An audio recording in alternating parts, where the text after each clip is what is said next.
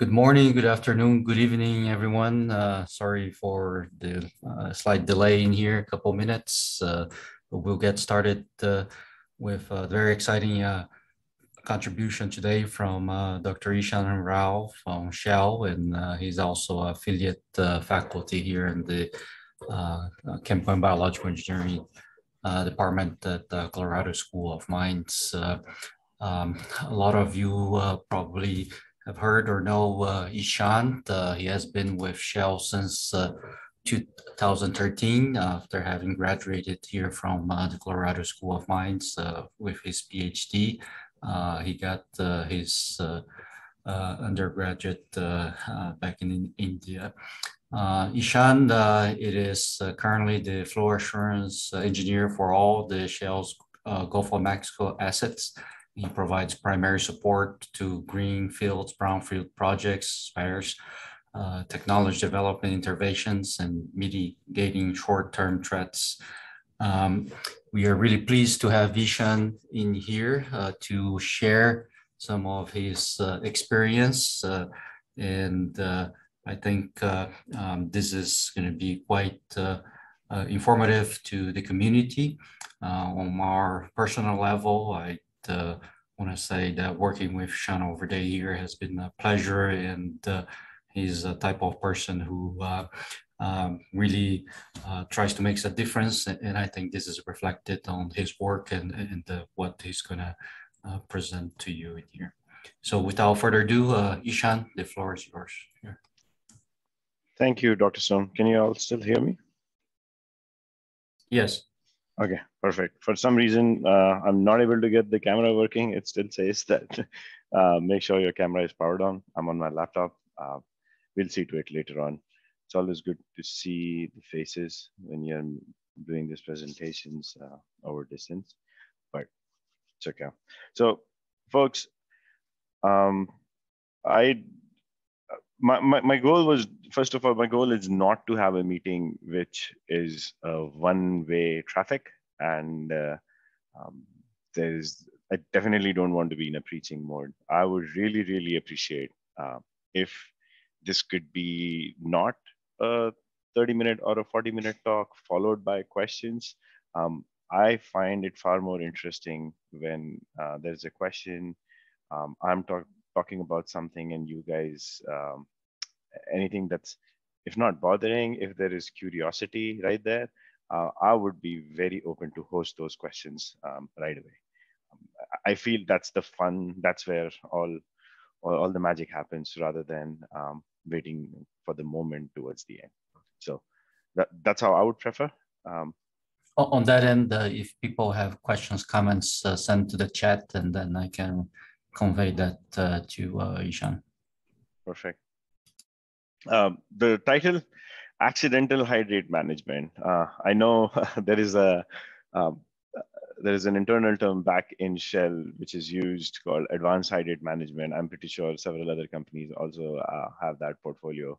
Um, however, one play one place I have not worked in Shell is the R&D business, and um, in operations the first thing that I realized was not everything is planned for.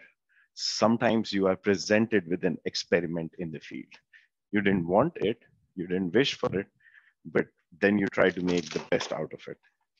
Um, and that's why I've uh, put it in the form of uh, accidental hydrate management, uh, things that we learned, things that were, something was planned, but something else happened. That's the goal um, and uh, our understanding what we have seen in the field versus what we see in the lab has also changed due to these um, so-called experiments that happened in the field. Yeah. Uh, let me see how would this move. Okay. Um, the approach that I am taking today um, is so there's no, there's not going to be actual field data because you can realize to get those things um, addressed and passed from our ER and all of those aspects would have taken me so much so that the whole, I, I probably would not be able to present today. So to keep all of that in place and still be able to talk about how what I have seen personally uh, in the field. Uh, for me, the best way to go forward was um, have that have this discussion.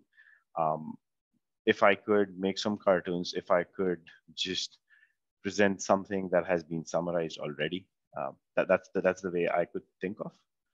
Um, I am not going to give away a, a, particular strategy in a way that I just don't want to present. Okay, this is the operating guideline of Shell. That's that would just be not accepted. Uh, however, what I really want to do today is maybe have a discussion with you all where where where you guys think what's if we are asking the right questions, if there is if we are identifying the right threat and are we mitigating in the right fashion? So the theme that you will see in these questions is, um, and this is something that I always follow and I very keep it very close to my heart is um, the first step is always risk identification. Are we doing it the right way? Um, and I can tell you from my experience, um, most of the times it's the first and the third part where if we fail. We are pretty, as engineers, we are very good at quantification. Trust me um, we will take our best guesses. Yeah, even if we don't have the data, we will take our best guesses. And generally, uh, the machine learning pattern through which we have gone through in our brain, we are able to do this quantification still uh, in, a, in a much better fashion. It's the risk identification that is either we've completely missed that this could have happened. That's the risky zone, or an engineer thinks or an R&D person or somebody thinks there is a risk, there is a meeting ongoing where impressions and uh, do you have the platform to speak up or what you meant versus the pressure from the other leadership, the whole communication of what the person at the ground sees the risk versus what was put in place, that chain that's the one that I have seen uh, the biggest problems in. So uh, in those aspects, if you have any questions when we are going through the presentation, please feel free to ask. Um, but uh, what have I done is uh, put this whole thing in form of questions, uh, and then we can all discuss together. So my end goal will be achieved of this presentation today. If this does inspire you to go back into your company slash uh, institutions slash um, uh, discussion boards. Uh, and if you can try and see, are we doing the right work? What I what do I need to do to get to the answer? That's that's probably the first step. And once we identify that, all it takes is resources and planning. And trust me, we can get to those answers. Um, so the idea would be, where am I conservative? Can can I can I go back to the board and identify what's the work that I need to get to somewhere.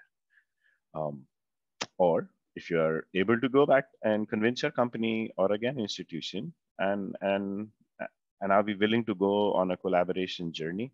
Um, I can tell you from Shell's perspective, uh, and, and, I'm pretty sure uh, if I go back five or seven or eight years ago, people would have a very different perspective of how Shell operates and what they want to discuss and what they not.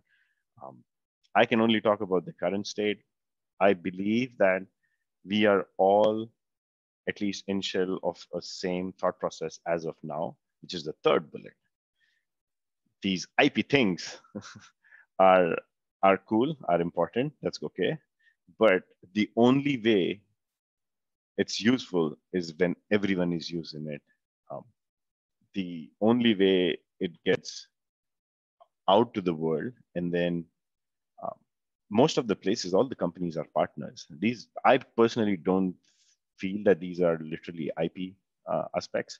Uh, more of these strategies are implemented on more of the assets everyone is producing uh, in in in, um, in higher quantity. So for me, it's always a win-win situation. So go back to your companies, see who's who's willing to talk, who's willing to share. It's not. It's never a one-way traffic, and and and hopefully we can we can get to a better place. Yeah. Uh, so where does the risk lie?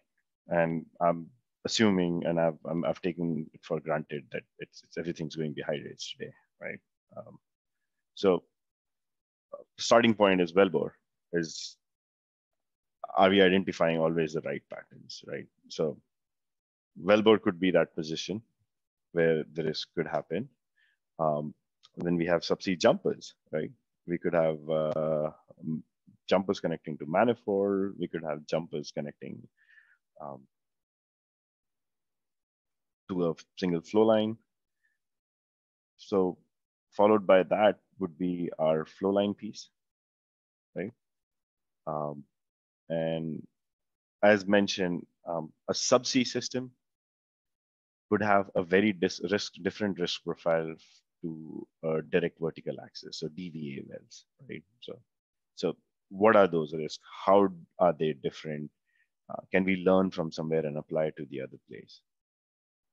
And finally, um, uh, top sides as well as export lines. Um, we've seen risks right across boarding chokes, uh, definitely export lines, and something that I will I will talk about also. So it's always tracking the molecule is something that we follow. Um, so where does the risk start and how does that risk travel? Um, different sections. Uh, how do we treat them differently? Just want to take a, I guess, a five second break if anyone has any questions till this point.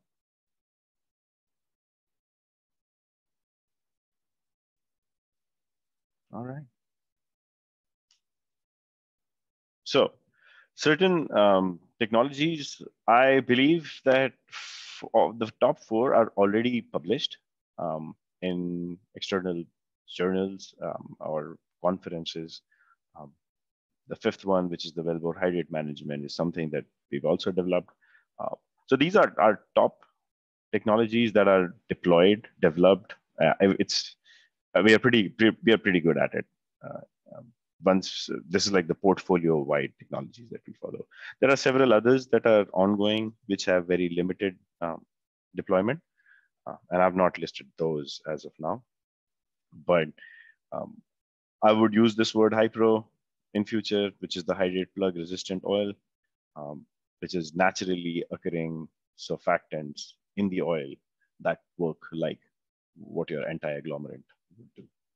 Um, kinetics-based no touch time extension, this is um, going beyond the thermodynamic boundary of hydrate, hydrate curve, and then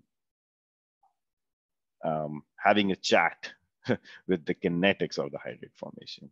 So you're basically negotiating at that point of time. Hey, what are your conditions? Am I okay to come out of it? And then, um, so all of those is based on um, can we can we sit in our hydrate conditions given we will have some sort of a subcooling or a driving force. So what sort of driving forces are okay? That's the technology. Um, some when I talk about driving force, then we go into the, the hydrate management piece again, which is um, low GOR hydrate management. GOR, we believe, has a role to play because it's part of the driving force, how much gas is available. Um, so that's the gas limited portions. Then finally, there's the low water cut. Um, when your system is water limited. Yeah. And the end piece is how does one look at the wellbore? What's the right way of risk profiling wellbore? And we do have a methodology. Um, and, and finally, we believe we are in a very advanced state of when it comes to wellbores. We understand the risk very well out there.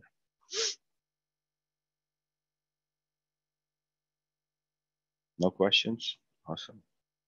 Yeah, and I'm assuming somebody will talk or put it in the chat and Dr. Soon will just ask me the question. That's how it's going to be. Okay. So the way I thought we'll talk about is, again, follow the molecule. So I'll start with wellbore. Um, we will discuss some points. I'll ask some questions, and then we will again come back to the board and, and start putting them down. And hopefully people will be able to identify, um, am I doing the right thing? Have I done the risk profiling right? Have I identified the risk profile? Have I quantified it in the right fashion? So I would say um, this was my first time when I got interested in in looking at well bores. And if I'm not wrong, this was 2014 or 2015 um, OTC presentation from from BP. Um, and trust me, I don't shy away from who I have learned from. It doesn't it doesn't put you any any any in any lower capacity or anything. This was the first paper that I saw that people are actually pushing the boundary when it comes to well bore. So what you're seeing, uh, and if if anyone from BP is online, please correct me if I'm saying anything wrong about this paper. But the bottom line was um, they had done great work on the thermodynamic piece of it, where uh, given a condition, given a GOR, what they said was, um, I have this much water cut, this is my GOR, and this is my thermodynamic hydrate volume fraction curve. So this is the maximum I can form. And I am willing to push the boundary.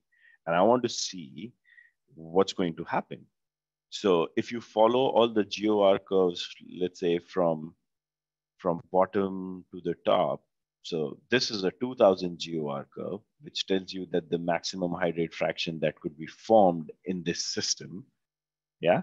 Um, and so you are tracking, so you, you, can see that hydrate volume fraction itself goes through a peak.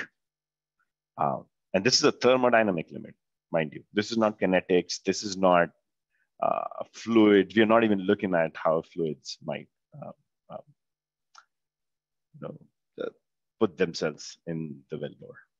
So, and what they are showing is how in different wells they were keep they were able to be in hydrate conditions for much longer than what the earlier issue was. And another thing was this was this was two-way thing. This was uh, operators having less time to be able to treat all the wells. Um, so that was the starting point. And then when they collected a couple of data points, they said that why not we push the boundary? So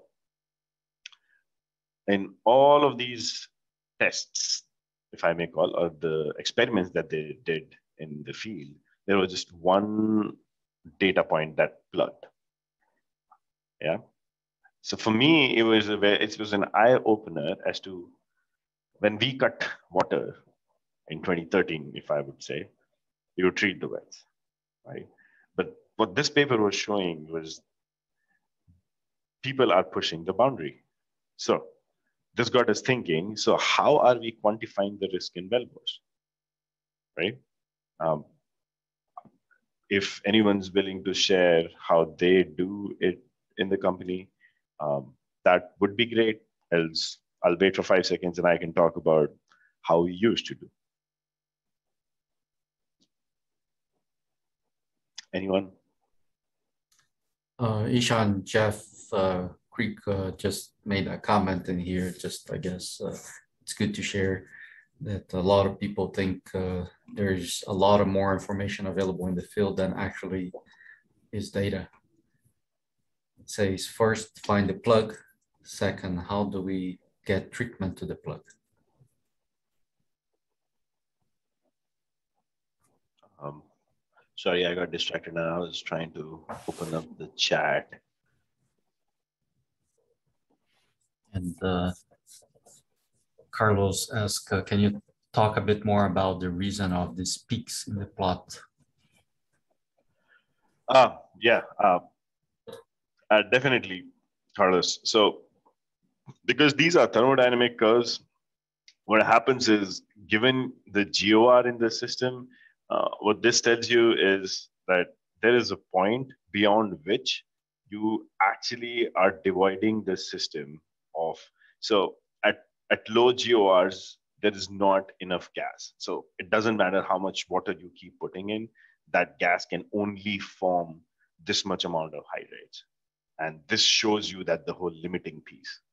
So, uh, so I guess a GOR of 250, which is the bottom one blue, it peaks at 15% and comes down. So thermodynamically, it's just not possible for that in that particular system to go beyond 15% hydrate volume fraction because you are gas limited at that point.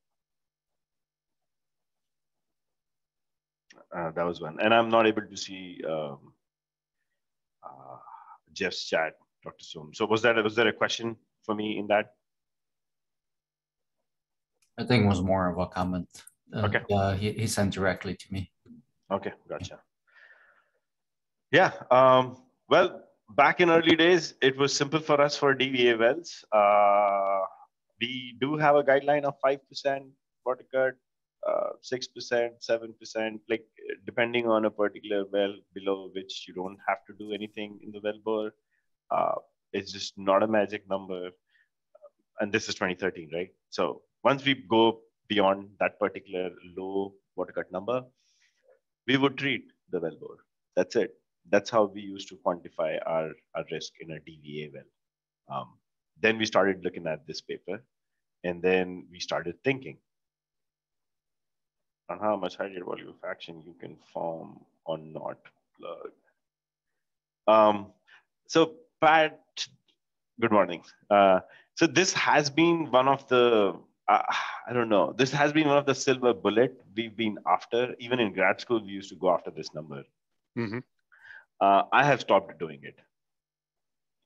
I really have. This is uh, this I think is far more relevant for a flow line restart than anything else. I don't think I can, at least I could apply it anywhere, which is the hydrate, what hydrate volume fraction is okay. But I, yes, for, um, for a restart in, uh, in a flow line, I do think this plays a role. Um, and if I have to talk about it, given the system, given the GORs and whatnot, um, I would not bet on anything that's greater than 20%.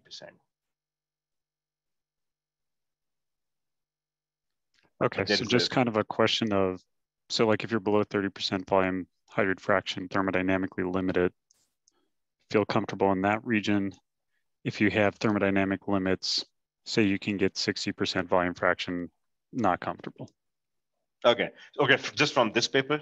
Yeah, So yeah, what we learned from this paper is that high GOR and high water cut is a problem. okay, So I, I again, so yeah, I did not try to say 30, 40, 50, what works. I just saw a pattern here that there is a high GOR fluid and it when it is exposed to a high water cut system, it's clearly showing me that there could be an issue. okay. So this plot was BP, right? This is Yep. not what I did. Uh, I I was trying to figure out how you were using, Yeah, that yeah. data. So this this is exactly how I used it. High GOR is an issue, and uh, high water cut is an issue. But what do I need to do? Because this is my gut feeling, right? But what do I need to do to be able to go through a whole technical program and then convince operations or operators to be willing to take that risk? That was the challenge. Yeah. So gray area is 22%. However, even with 5% water cut, oil line formed a nice blur.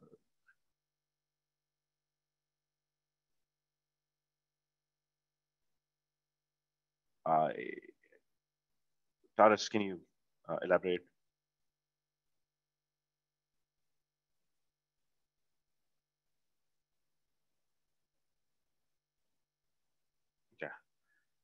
Think Taras is on mute. We can get back to it. But my strategy out here was, uh, I think this is the first thing any flow assurance engineer does learn about hydrates is uh, four things that that gets you um, to the point where what do I need to do? How do those hydrate plugs could form, right? So gas, water, temperature, pressure.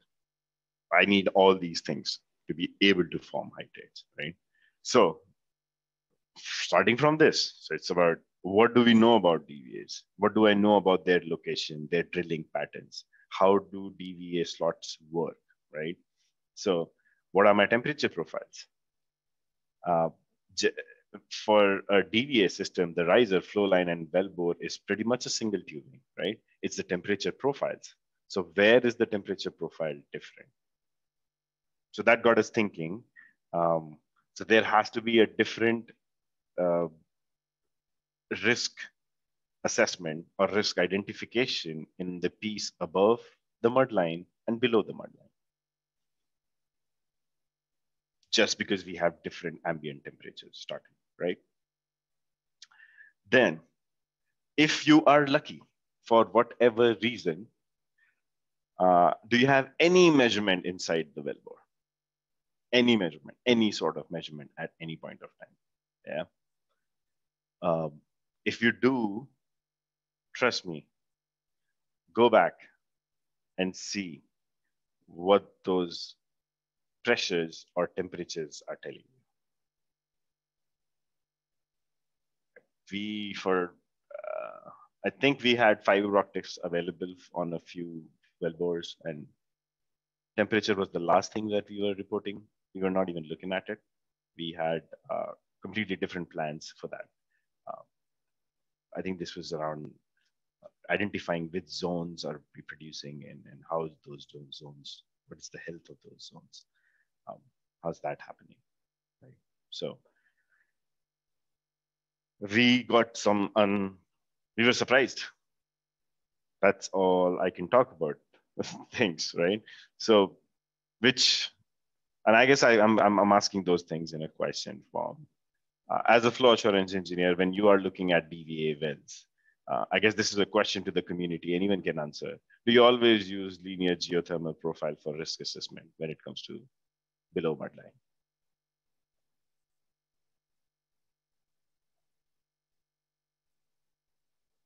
Anybody?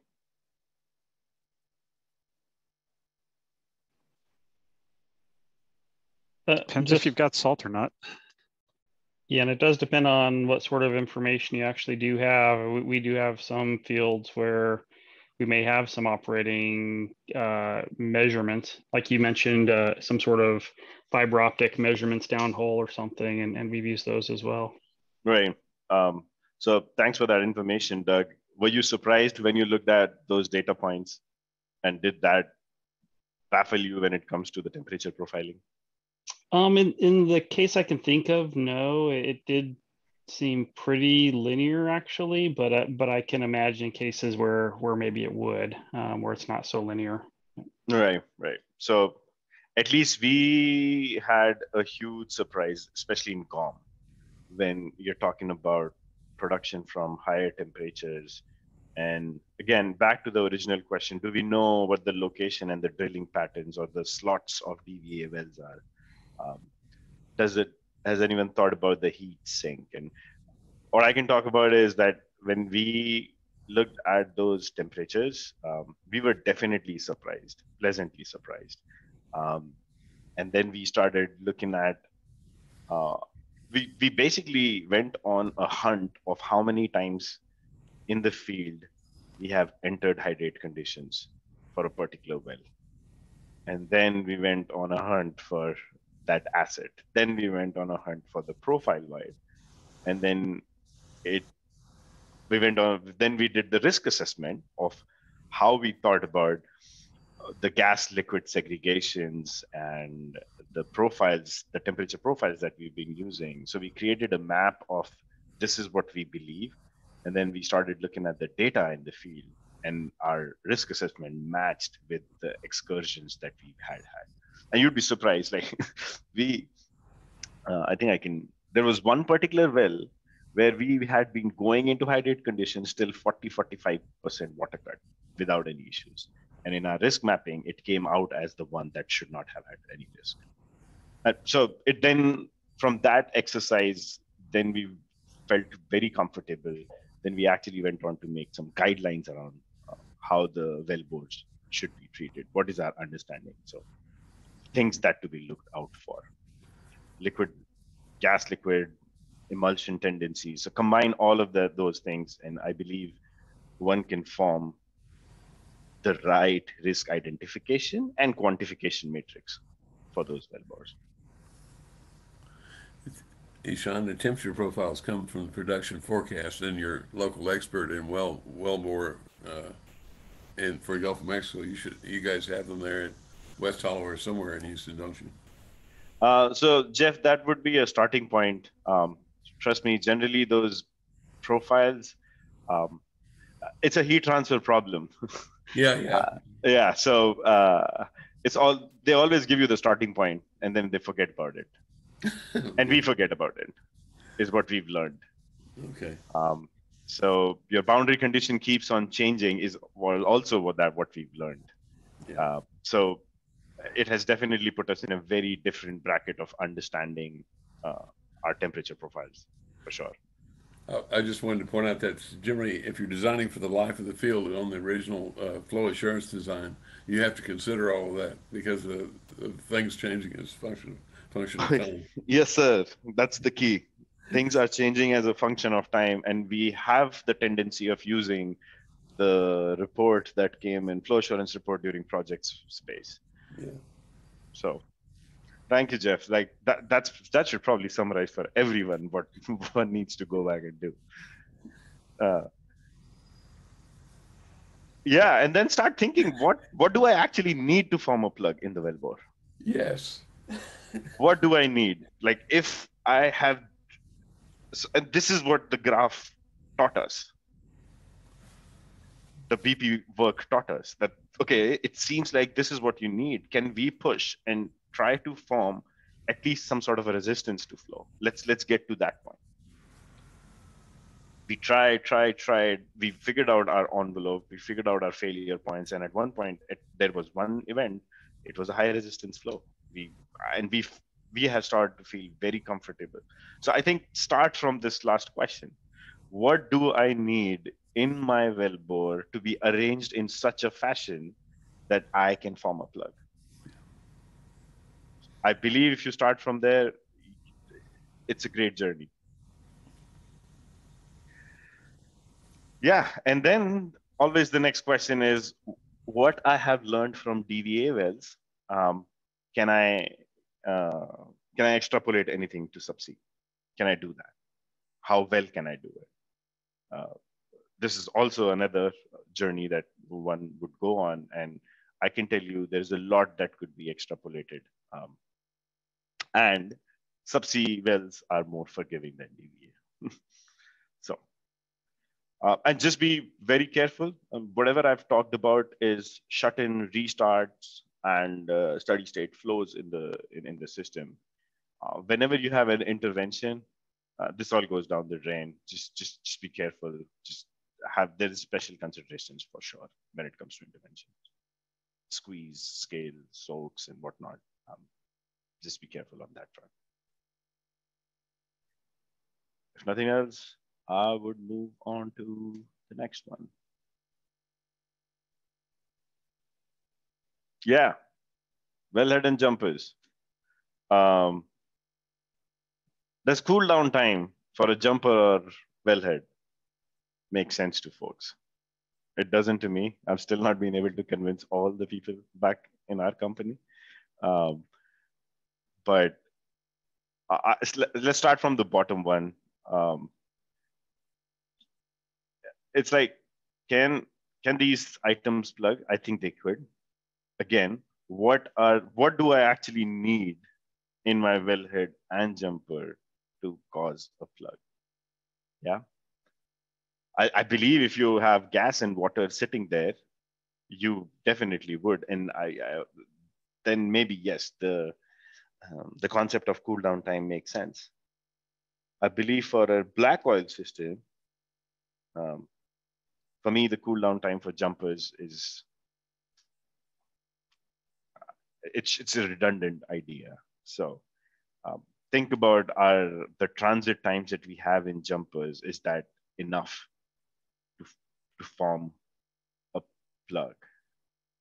Right. So let's say you have harsh conditions during shut-in for jumper to be able to form a plug. So you will treat it.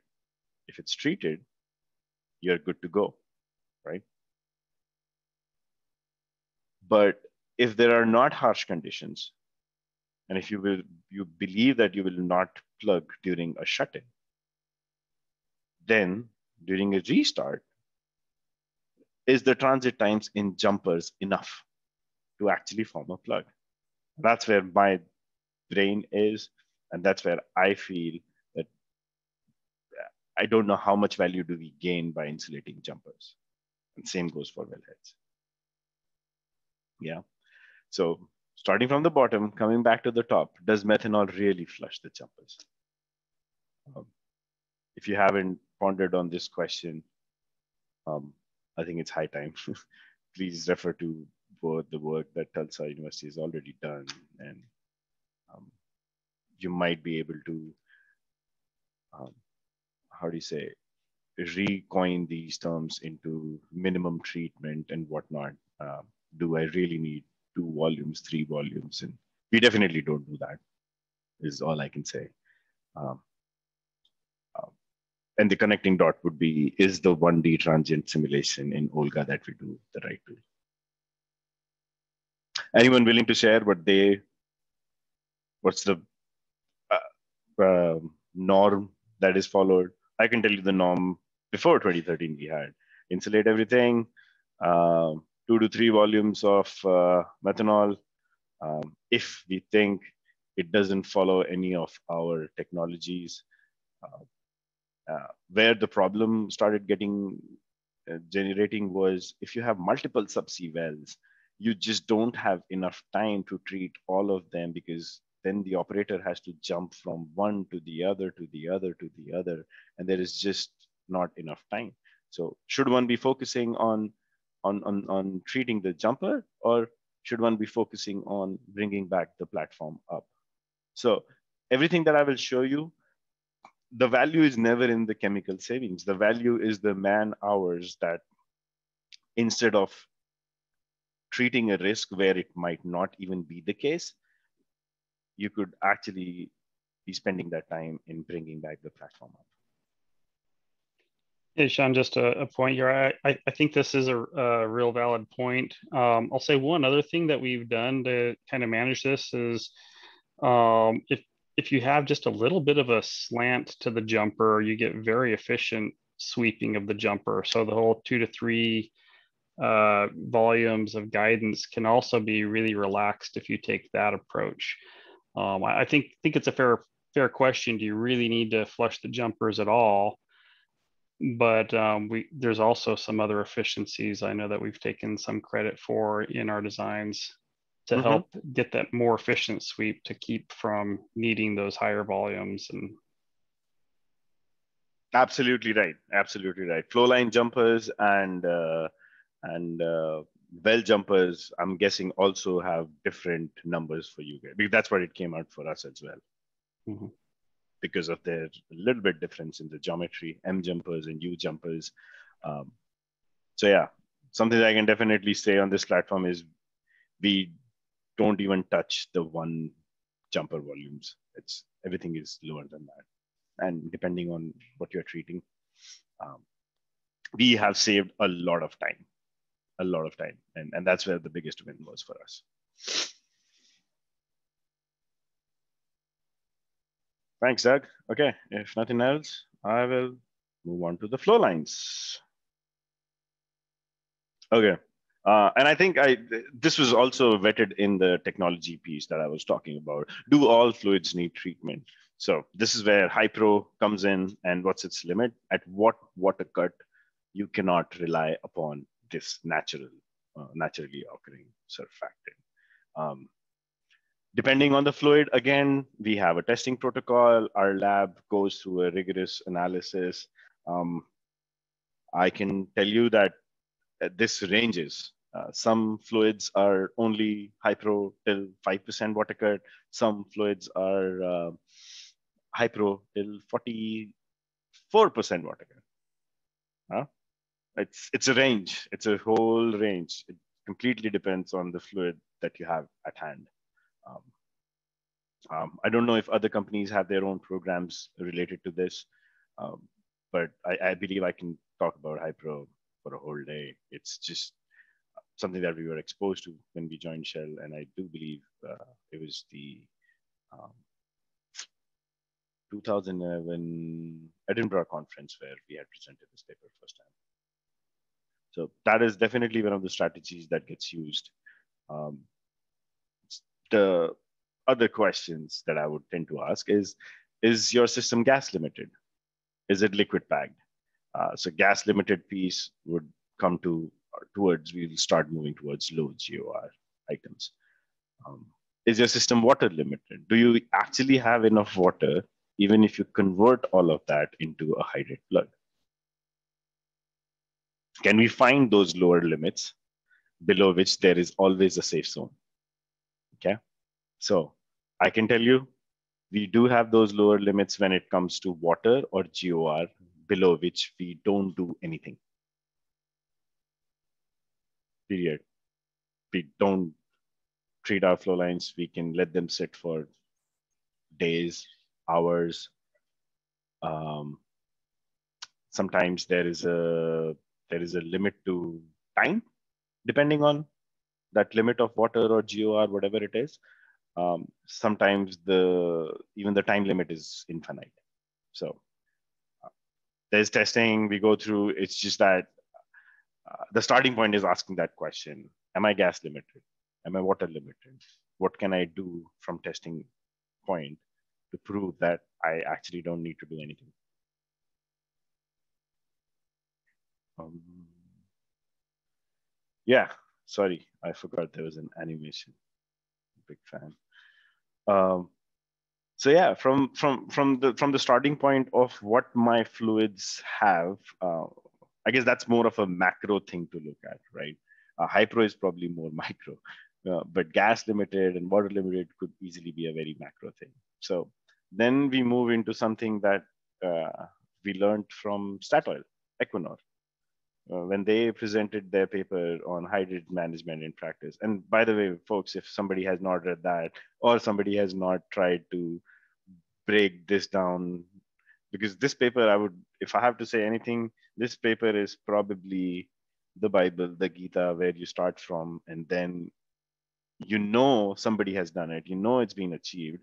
Then again, go back to my first slide is what do we need to do to achieve it because it's possible. Yeah. So this is where we started. So is there a region inside hydrate conditions where we just can't form hydrates?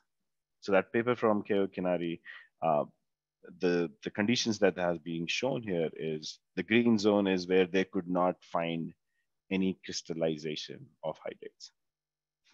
Yellow is the where they crystallize, and red definitely. So it's it's it's a time bound um, aspect. Like a green zone is basically you don't even nucleate a hydrate, even if you sit there for a day, two days, three days, you just don't.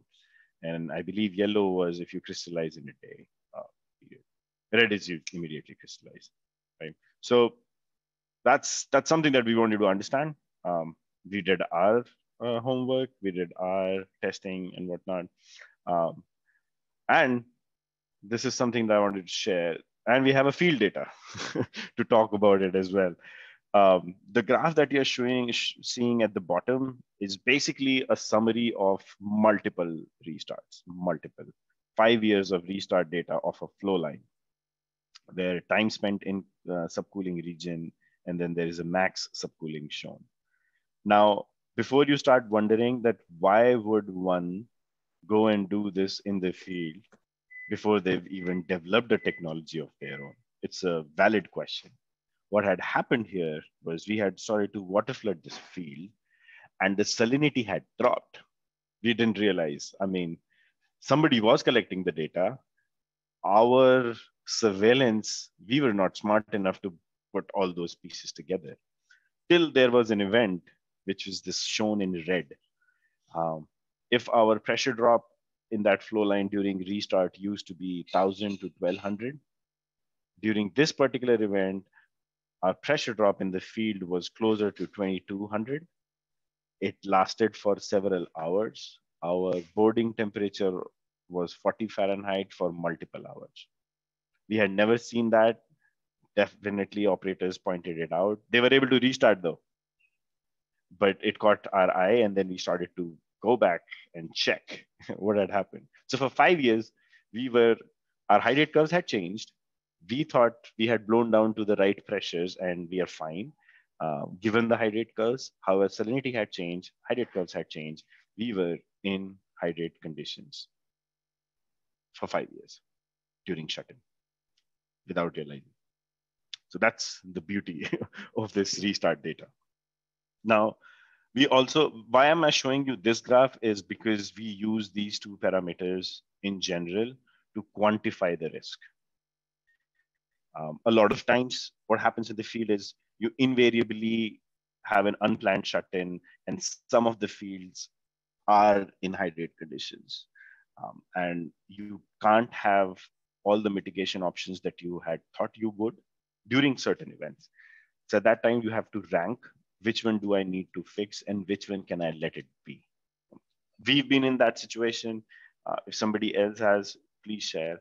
Um, that's that's that's generally been the case for us, um, and that's why for us these two parameters are pretty um, pretty powerful. Um, and if I am not wrong, hollow, yes. So I have given that as well. So yeah, all the hollow ones are the ones which have uh, time greater than five Fahrenheit subcooling. So we do use subcooling in different fashions and seeing which is more harmful or not. Um, so yeah, uh, we did this field experiment. Uh, the data was in front of us, and we invariably realized that that experiment of what what Keo was talking about um, can you nucleate hydrates? Can you outrun hydrates? We had a solid field data. And I'm not kidding, this flow line is greater than 15 miles. Yeah. Um, so this was our confidence builder to, to deploy the strategy. So we had been working upon it. We had certain lab data. We had collaborated with uh, universities to create that data then came this aspect and we were like oh okay hey tas we believe we've already done this kind of implementation in the field so can we have a green light so we started getting some green lights on okay go and implement that field in this field finally other thing is can we outrun the hydrates during um, during restart uh, depending on the kinetics um, and the fluid and flow line conditions this has definitely enabled our single subsea tiebacks strategy. Uh, we are able to blow them down below hydrate conditions. And then during restart to avoid chilly choke, we do pressurize. And you can imagine when you pressurize the flow line, you're putting it back into hydrate conditions. Um, so depending on the kinetics, depending on like, uh, I think Pat had an earlier question uh, about hydrate volume fractions this is where all those things come into picture. How can I, how much can I actually form during this restart? Would methanol help during this kind of a restart? Sure. So those are certain strategies we combine for our um, flow line aspect. Any questions?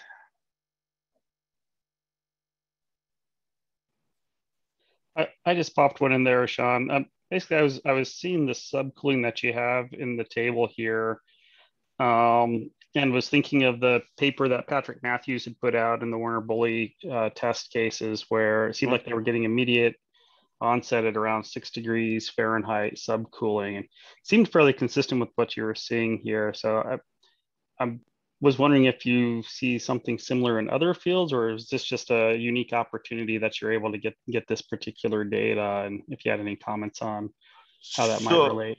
Right. So, Doug, we've moved to a strategy. We actually have a technology in place now for what you're seeing the graph above. So, I completely agree with that. Like, if there is a black oil system, you probably could live with five, six Fahrenheit uh, pieces. Um, and I, actually, I'm not too sure if this one includes the five Fahrenheit or I've removed the five. I'm forgetting now. about this graph. So in very high probability, this subcooling is actually a plus five. So what you're seeing in the data, like the red one is almost 9.5. Uh, I think it is more like 14 Fahrenheit. But I can okay. confirm later on. However, uh, the bigger question you were asking, uh, yes, I think Patrick Matthews was on the right track. Uh, we do actually now have a technology of our own that can create the exact map that KO has on top. So depending on if a field is facing issues, you know, late life and whatnot, we now have this in place that we will generate this chart and then apply it accordingly. Great, thanks.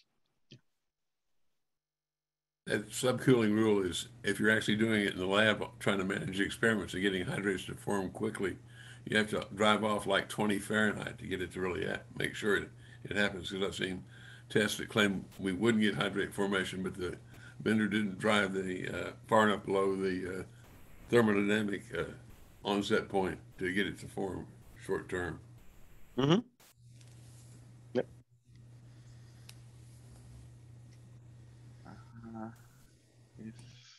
Nothing else, yeah.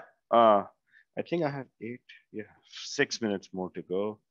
Uh, let me be fast about it. Flow line, still flow line. Okay. Uh, the next one is uh, when we are continuously in hydrated conditions. Our LDHI is 100% effective? Has a, that is a question that I have uh, posed, and I I don't trust it. I, I if somebody asked me personally, I would say the answer is always no because multi-phase is at uh, play. Um, one of the examples that I could talk about is a failed implementation of HYPRO strategy in the field, where our fluid were HYPRO, we thought LDHI, and that field had LDHI in place. So we thought if, if it's truly the same um, aspect, then this should work uh, we can probably stop LDHI. As soon as we stopped LDHI injection, we started plugging the field. Then we realized, well, okay, um, LDHI's carrier is methanol. Maybe that was also helping and whatnot. Um, then we decided to clean the plug that we had formed with methanol. When we cleaned that up, it turns out that our baseline pressure of the riser base decreased by 20%. When I say baseline, it was before we stopped injecting LDHI. To our amazement, we were always forming hydrates. We were always depositing hydrates. However, very little fraction. And this field was in production for eight to 10 months with a lot of ramp ups and shut-ins and whatnot. So your naked eye, we, our naked eyes could not capture that. Um, and turns out this was happening for six to eight months, very slowly. Methanol cleaned it up. Uh, then you always uh, start asking that question. Um, if, do I need to inject LDHI? Can I turn into a batch methanol strategy? Can, because I can save a lot of cash there. Um, how much, how, what frequency is okay by operation? So different aspects. But uh, if, if, if you guys are using LDHIs um, continuously for for a field that is in hydrate conditions. Um, just, just to, I guess, just something to be to be aware of, or something to take into consideration. Um, are you causing any deferment because you have a back pressure and you've not realized that that exists?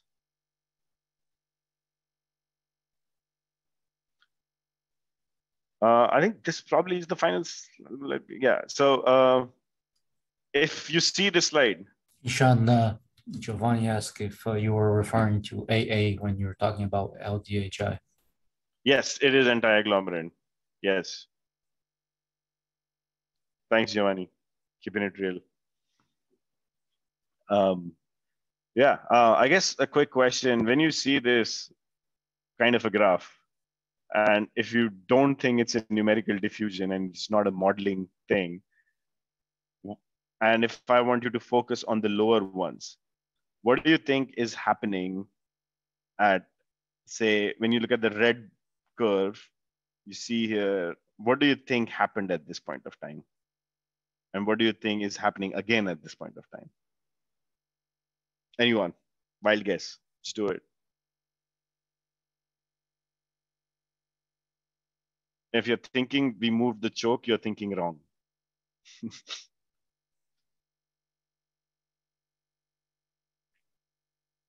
Okay.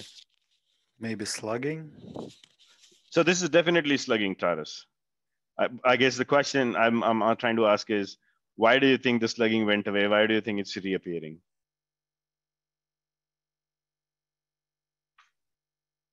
Okay. This is the same field, guys, the one that I was talking about earlier. Um, this is actually hydrates.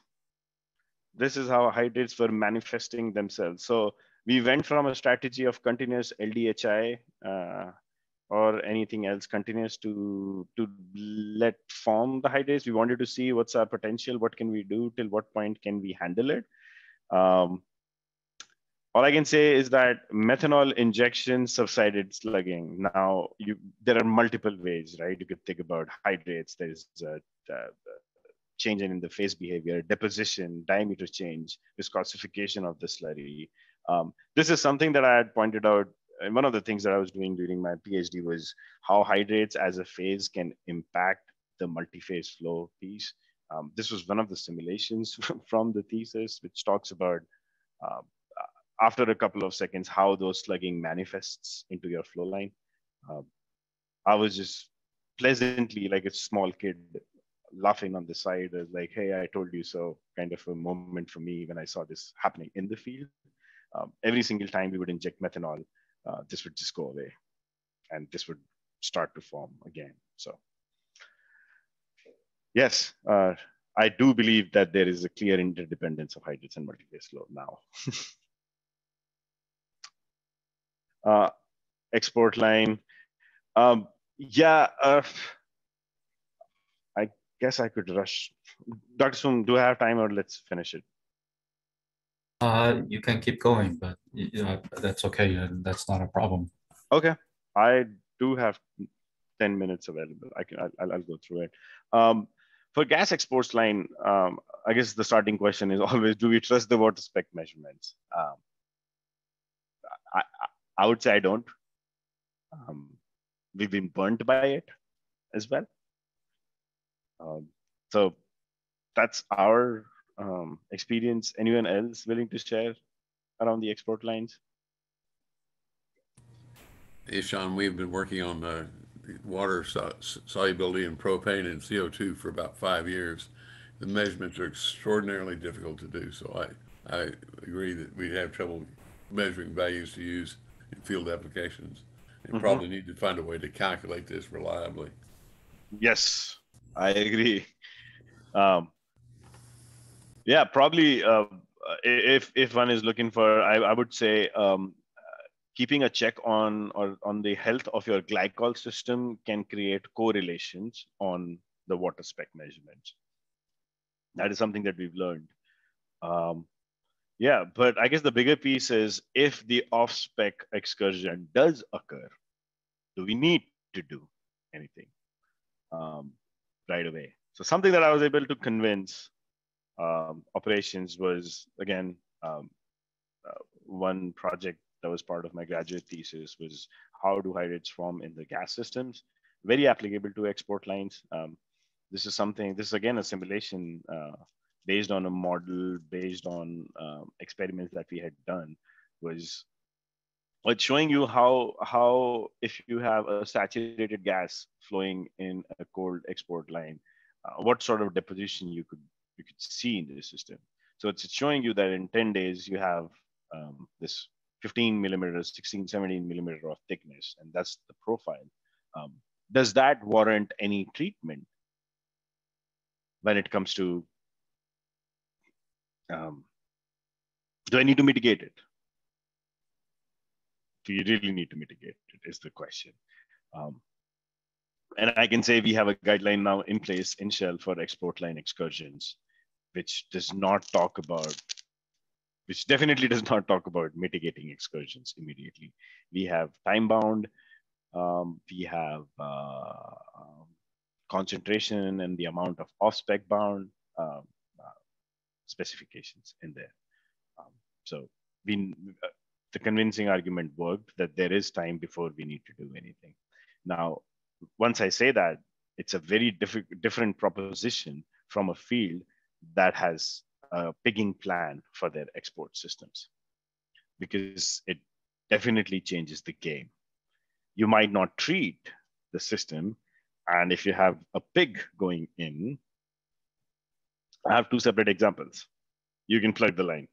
Yes, this is the asset where we could not figure out what the off spec was because we were measuring one to two pounds per million scuff, but for two pig runs, we, we, we, we had hydrate particles on the other side.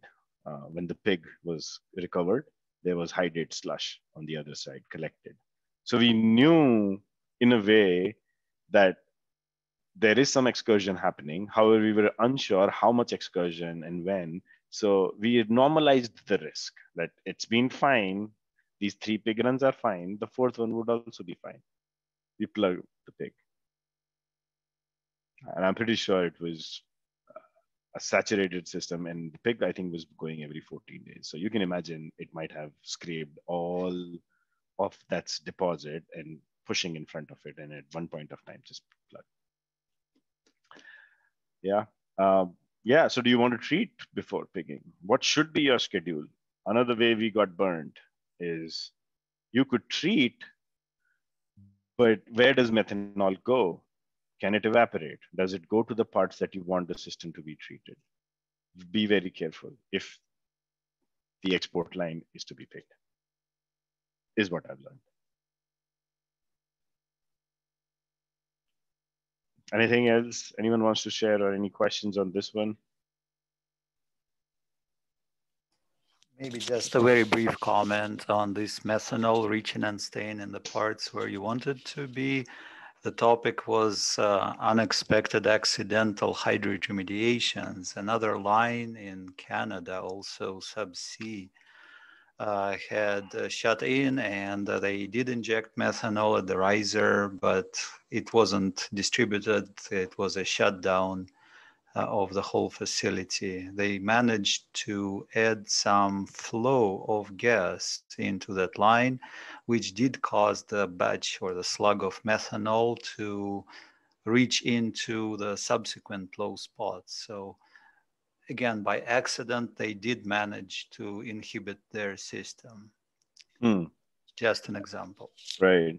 And as an accident, how we plugged the system, Taras, the second one was we actually treated the system and uh, we treated the system, but our pigging schedule was after four days. So let's say excursion, bad excursion happened for three days. So we treated it. And then once we got back on track, there was four days gap, and then we were going to pig the line. To everyone's amazement, oh, obviously it's an after learning. In those four days, almost all the methanol evaporated. It got preferentially picked up by the gas. We had never thought of this problem. So we plugged two export systems in the past five years. One I already told you about the scraping from the wall. The other was the risk identification. We failed at it. We thought that once you've treated the system, you are fine. And now you're flowing the gas and it's okay. However, later on, once we had plugged, when we did our simulation, dynamic simulation, turns out your methanol gets preferentially picked up. So that's why the schedule is important. Okay. Um, I guess the four last discussion points. This is this is this is my last slide, guys. So uh, I believe we tend to be very conservative in the field, which is very understandable. Right?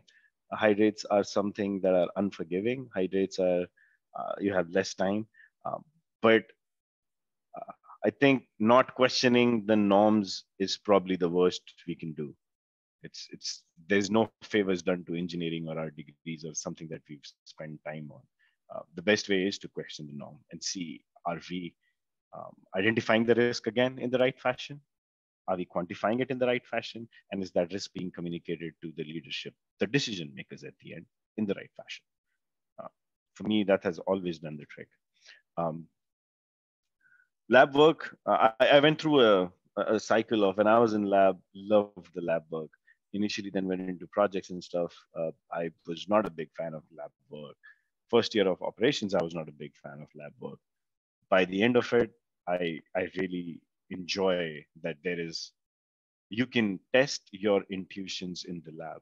I'm not going to blindly extrapolate things in the lab, but it allows you to see, is this really happening? Or is this something that I'm, is there something I'm missing? I think you can learn from the lab and design an experiment then for the field.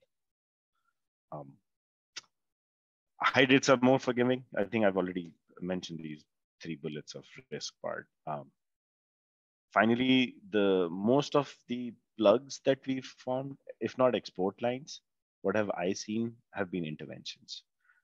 I know I could have just didn't have enough time. Yeah. So I've kept interventions out of today's talk, but they are also one of the most difficult ones. It's the risk identification piece that generally gets missed out in intervention. So with that, yep, that was my slide. Thanks a lot, Ishan. That was a great, uh, I think, very informative. Uh, you know, you touch upon the things that uh, we typically don't talk about or don't get to uh, share. Um, we are about uh, beyond the hour, but uh, certainly, if you have time and people have questions in here, um, anyone would like to ask something to Ishan or make a comment, you can send a chat or raise your hand. Yeah, I'm available for another five ten minutes. Um, I, I don't mind staying online.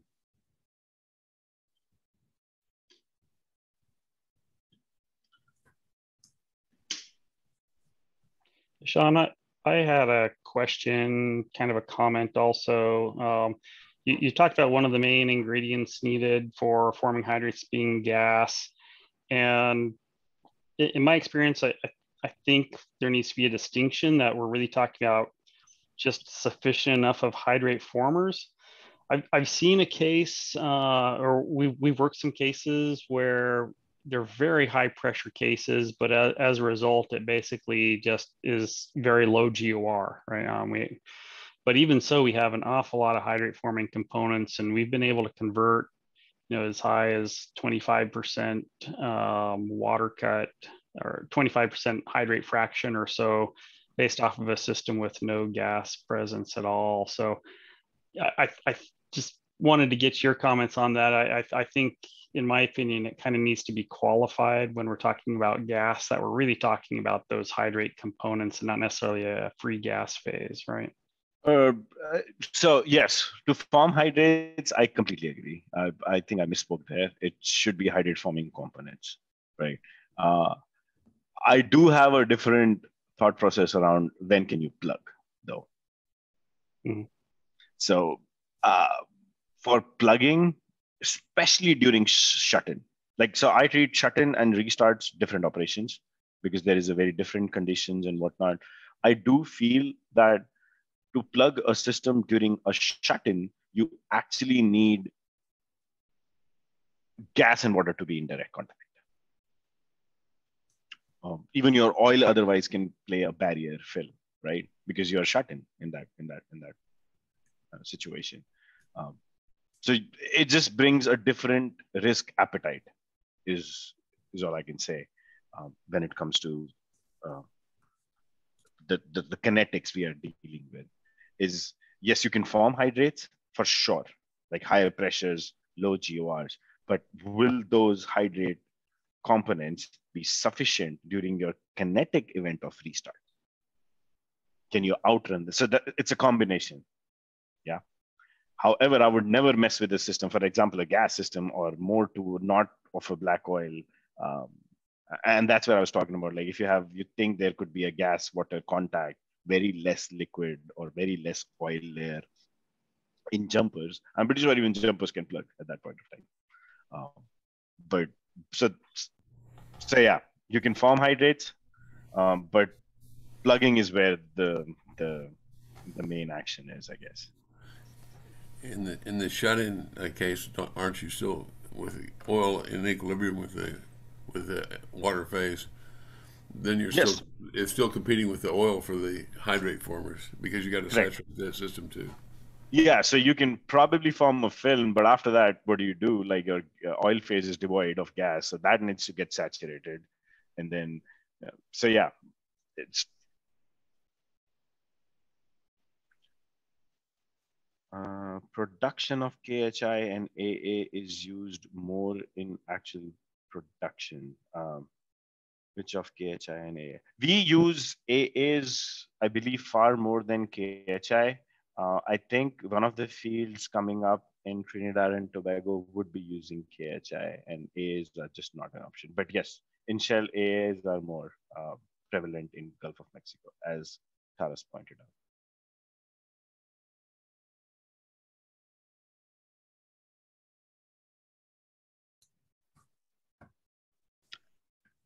Any other questions?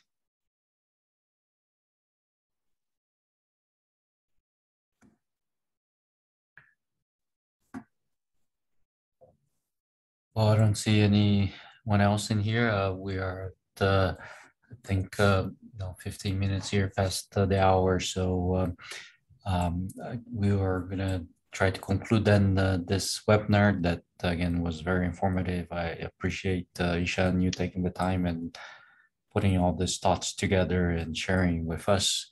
Uh, this uh, uh, webinar uh, is recorded and will be later posted in our uh, website uh, if anyone would like to go back and revisit the things that Ishan have discussed today. Yeah. no, thank you, Dr. Sum and the organizing committee. And I feel privileged because probably my age is equal to a lot of people who already have either presented or are on the call and have that much of experience. So I do feel privileged to be able to present to these folks.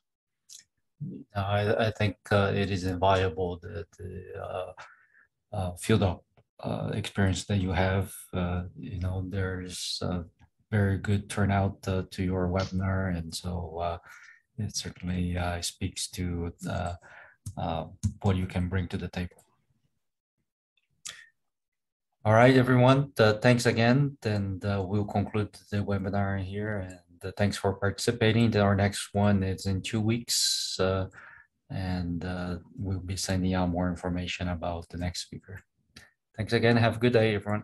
Bye-bye. Bye. -bye. Bye.